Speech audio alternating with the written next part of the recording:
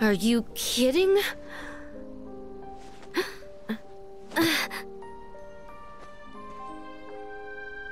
You're gonna be recompleted.